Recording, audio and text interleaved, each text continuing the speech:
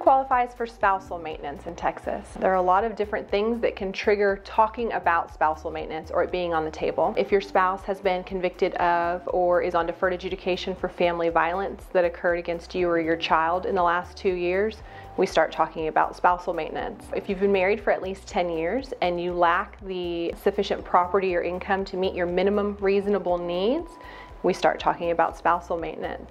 If your spouse is a sponsored immigrant we start talking about spousal maintenance. And finally, you can agree to it as well. So there's a contractual spousal maintenance that's an option as well.